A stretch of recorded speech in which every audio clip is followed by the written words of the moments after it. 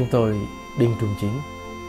Lần nữa đứng ở trên diễn đàn của Radio Latin Tin Vui, xin được hân hạnh giới thiệu đến quý vị thầy phó tế JB Nguyễn Trung Tín. Thầy phó tế Nguyễn Trung Tín sẽ chia sẻ phần suy niệm và chia sẻ lời Chúa theo phụng vụ Chúa Nhật thứ tư phục sinh năm b. Bài đọc 1 ở trong sách Công vụ Tông Đồ chương 4 câu 8 đến câu 12. Không có một danh nào khác để chúng ta phải nhờ vào danh đó mà được cứu độ. Bài đọc 2 Thư của Thánh Gioan Tông Đồ 1 chương 3 câu 1 và 2 Người yêu đến nỗi cho chúng ta được gọi là con Thiên Chúa, mà thực sự chúng ta là con Thiên Chúa. Và bài tin mừng của Giêsu Kitô theo Thánh Gioan chương 10 từ câu 11 đến câu 18. Và sau đây là phần suy niệm và chia sẻ lời Chúa do thầy phó tế JB Nguyễn Trung Tín.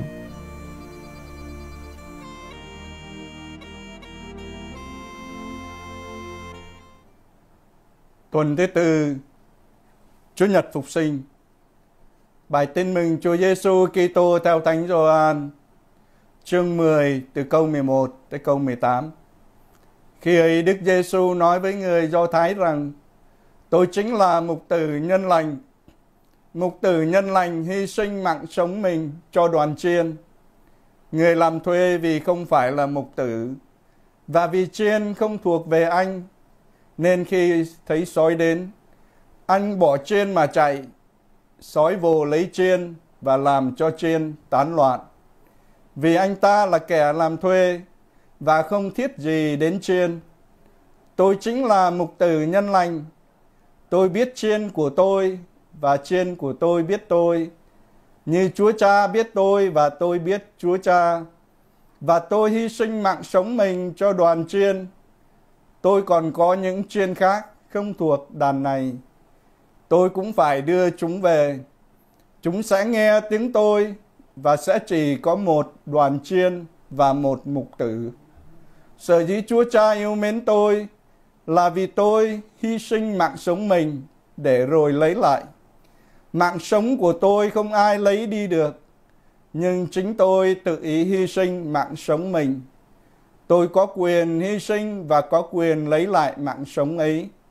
Đó là mệnh lệnh của cha tôi mà tôi đã nhận được. Jesus said, I am the good shepherd. A good shepherd lays, lays down his life for the sheep.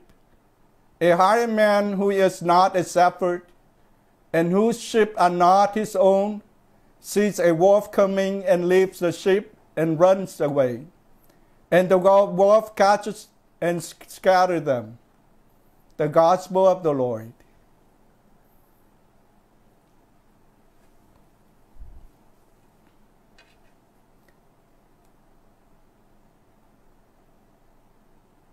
Sứ điệp Chúa Nhật thứ tư phục sinh Đức Giê Chúa Giêsu nói về người mục tử nhân lành và người làm thuê Ngày hôm nay Hội Thánh cũng nhắc nhở các tín hữu cầu nguyện cho ơn gọi làm người mục tử nhân lành noi gương Đức Giêsu Christ. Trước khi vào phần chia sẻ, con xin nêu lên một câu hỏi. Ai là người mục tử thời nay, thưa ông bà và anh chị em? Ai là người mục tử thời bây giờ, thưa ông bà và anh chị em? Phải chăng là dành riêng cho các vị linh mục, giám mục hay các tu sĩ nam nữ. Vâng, chính là các tu sĩ nam nữ, các vị linh mục, giám mục hay Đức Thánh Cha Francisco ngày nay là những vị mục tử lo việc coi sóc nhà Chúa, lo việc phụng vụ và cử hành các bí tích thiêng liêng do Thiên Chúa lập ra. Phải chăng người mục tử ngày nay là chính bản thân mình, là ông bà anh chị em hay bản thân con, những người đang sống với bổn phận làm cha, làm mẹ, hay họ vì nghề nghiệp coi sóc các trẻ thơ, người già lão, người ốm đau, bệnh tật, vân vân. Vâng, họ cũng là những người chăm sóc kẻ khác Họ biết rõ từng người được họ chăm sóc. Họ là những kẻ quan tâm lo lắng đến người ốm đau, thương tích hay đi lạc trong cuộc đời. Trong thời gian bệnh dịch lan tràn khắp thế giới, chúng ta thấy từ anh lái xe buýt công cộng, các nhân viên chăm sóc, các người y tá và các bác sĩ họ là những kẻ đã hy sinh mạng sống mình trong khi đưa đón hay khi chăm sóc các bệnh nhân lây nhiễm bệnh dịch. Và từ khi bệnh dịch bắt đầu, các vị linh mục, các giám mục, các nữ tu trên thế giới, đặc biệt là ngay trên nước Ý, nơi trung tâm hành hương của giáo hội công giáo chúng ta, hàng trăm người đã sống theo lời Đức Kitô dạy, mục tử nhân lành, hy sinh mạng sống mình cho đoàn chiên. Làm sao ngày hôm nay còn nhiều con người noi gương Đức Kitô, dám hy sinh mạng sống mình cho tha nhân vậy? Phải chăng họ còn giữ được ngọn lửa yêu thương khi họ chọn theo ơn gọi, làm người mục tử, hay là những người chăm sóc cho tha nhân mà con gọi nôm na đó là dấu ấn tình thương tình yêu của thuở ban đầu. Trong bài hát Chúa ghi vào hồn tôi dấu ấn của Ngài. Vâng, dấu ấn tình yêu tôi đang cần phục sinh lại là gì trong suốt mùa phục sinh này? Phải chăng dấu ấn tình yêu giữa tôi và Thiên Chúa? Hay là dấu ấn tình yêu giữa tôi và người tha nhân? Hoặc là dấu ấn tình thương yêu gia đình giữa vợ chồng của cha mẹ và con cái? Trong phạm vi ngắn hẹp, con xin được chia sẻ về dấu ấn tình yêu của gia đình đang cần được phục hồi trong xã hội ngày hôm nay. Vâng, dấu ấn tình yêu giữa vợ chồng.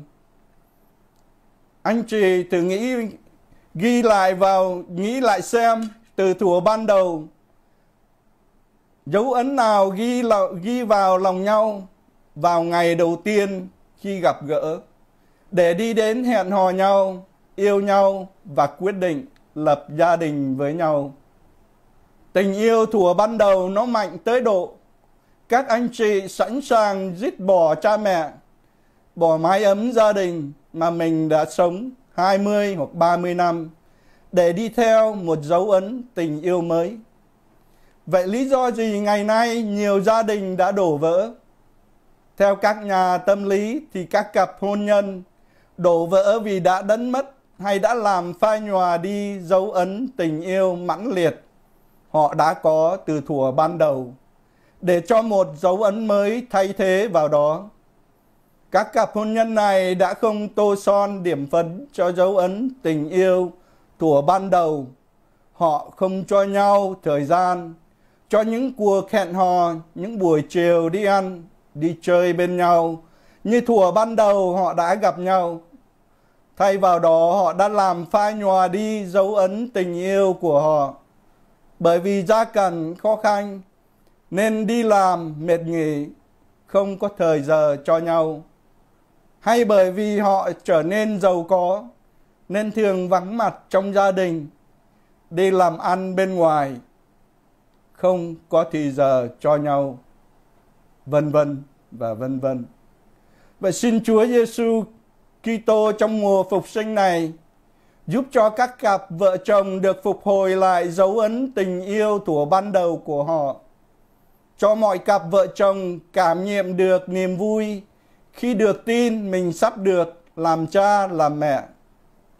Nhất là mọi người tín hữu công giáo được phục sinh lại dấu ấn tình yêu.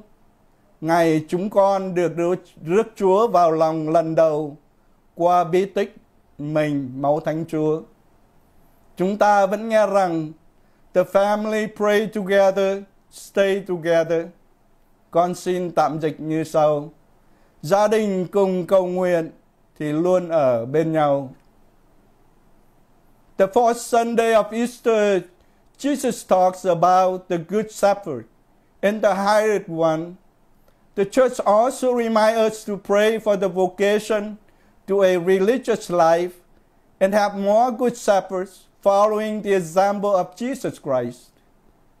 A faithful love from God the Father has shown through the God the Son, Jesus Christ, his life on earth and everlasting love of God, the Holy Spirit to all mankind, to you and to me.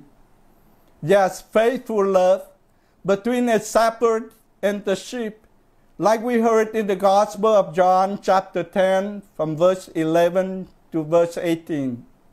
I am the good shepherd, and I know mine, and mine know me. A good shepherd lays down his life for the sheep. Yes, faithful love between God and mankind. We can see that from the creation to the flood to the deliverance of his people out of Egypt, and finally a new covenant between God and humankind through the life of teaching and the blood of his son Jesus Christ, so we, you and I, could restore our image as children of God. The story of the faithful love between God and mankind does not stop there because it continues on with His Spirit to guide us and to mold us until we could go back home in paradise. Occasionally, I have been sharing with my friends about life after. I said to them, Do not worry as long as you and I do not go to hell. We, we will eventually end up seeing each other in heaven. Just a matter of time long for you and short for me, or vice versa. Only God knows. Faithful love between husband and wife. What faithful love do you want to work on or to ask God for healing on today, the fourth Sunday of Easter?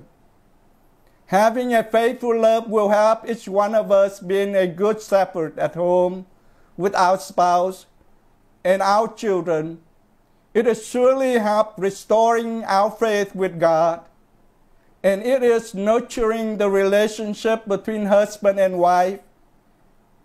This is a foundation of family and of the society. So let us all re-examine and renew our own faithful love to God, to our neighbors, and to our loved one on this fourth Sunday of Easter. Amen.